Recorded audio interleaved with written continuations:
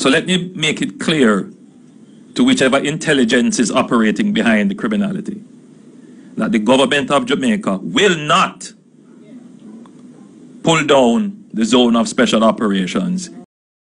The zones of special operations remain relevant and in the current fight to restore law and order in certain communities. They are bringing about meaningful and sustainable transformation of these communities and are restoring a sense of hope for the people who reside within and around the zones. Indeed, to borrow a phrase, the zones of special op may be the best example of what we call proximity policing. Madam Speaker, I was saying this, people are our most valuable asset, and the focus of the work is how we offer opportunity and transform the lives of the population in these challenged communities. We are seeking to further extend all seven areas currently declared as zone of special operations, ZOSO, which will expire on the 21st of February 2023.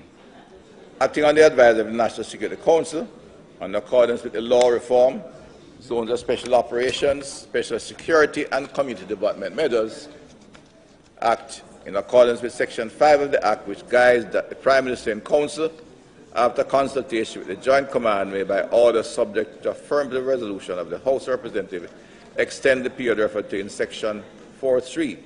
The Mount Salem, Denham Town, August Town, Greenwich Town, Norwood, Parade Gardens, and Savamar zones of special operations, special security, and community development measures to be extended for a further period of 60 days.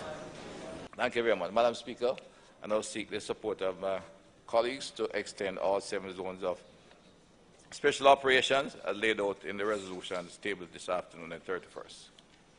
Members, the question before the House is that the resolutions, notice of which the Minister gave earlier, be approved. Those in favor?